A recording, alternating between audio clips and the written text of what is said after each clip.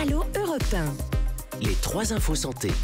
Isabelle, on commence avec une question. Et si les médecins étaient les plus mal soignés Eh bien, ce matin, Thomas, le Figaro pose cette question effectivement un peu étonnante. Pourquoi les médecins se soignent-ils si mal?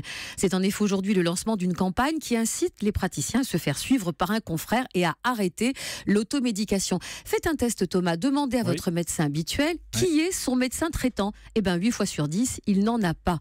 Les médecins ont tendance à minimiser leurs problèmes de santé et parfois la maladie se déclare et elle est diagnostiquée trop tard. Les explications Bravo. du docteur Marc Garcia, fondateur de l'association Intermède, dont l'objectif est de prendre en charge la santé des soignants. C'est difficile d'avoir du recul sur sa propre santé. On est trop impliqué, on est trop avec nous-mêmes, entre guillemets, et donc on est dans le déni de ce qui peut éventuellement nous arriver. Donc on ne veut pas voir, on veut pas voir, et on continue à travailler, à faire donner des soins aux autres, à donner des bons conseils à tout le monde, sans se les appliquer à soi-même. Et ça commence très tôt, puisque un étudiant en médecine sur quatre estime qu'il est déjà en mauvaise santé. Michel Simès, c'est vrai Vous faites pas attention à votre Si, propre si. santé?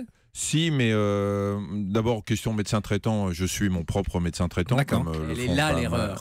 Bah oui, elle est là l'erreur. Sauf, sauf quand j'ai euh, un doute sur quelque chose qui euh, nécessite une consultation spécialisée. Et, et, euh, on a tous des potes médecins dans toutes les spécialités. À ce moment-là, je consulte immédiatement. Et puis, je, voilà, puis je, suis- je suis pas hypochondriaque, mais vigilant sur ma santé. Dès que j'ai un truc, bah, je, je fais l'examen qu'il faut. Et puis après, je vois. Isabelle, vous nous expliquez euh, à présent que les microbes sont partout. Et si on ne savait plus faire le ménage, s'inquiète le Parisien ce matin, la suppression des cours d'hygiène à l'école dans les années 60 a fait de nous, paraît-il, de véritables cancres du nettoyage. Microbes et bactéries en ont profité, ont proliféré et se nichent là où on ne les attend pas forcément. Saviez-vous par exemple que 10% du poids de notre oreiller au bout de deux ans est composé d'acariens morts et de leur déjection Là, normalement, vous dites Ah Saviez-vous aussi que l'éponge que l'on passe sur la table après le repas est souvent plus sale que la table elle-même et que dans une cuillère à café de poussière se cache plus d'un millier d'acariens? Je suis sûre qu'avec ces chiffres, on va devenir tous les rois de l'aspi. Sans aucun doute.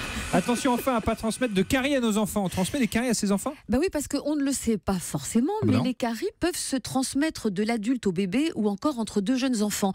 Les nouveau-nés n'ont pas du tout la bactérie responsable de la carie. Alors, pour éviter de la leur transmettre, de la leur donner, évitez d'embrasser votre bébé sur la bouche, évitez aussi de lui donner à manger avec votre cuillère, et puis évitez de le temps, lécher non sa tétine. Vous savez, les parents disent allez, je lui passe un petit coup On de la... tout le temps ça. Eh ben, il vaudrait mieux pas, parce Bah, que après, tétine- sales, ils la iront qui le tombe dentiste. par terre et qu'on Exactement. reprend dans la bouche pour la nettoyer. Ouais. Ouais. La carie, c'est une maladie infectieuse. Il y a certes le sucre, faut se brosser les dents, etc. Mais c'est avant tout une maladie infectieuse. C'était les trois infos santé d'Isabelle Quenin.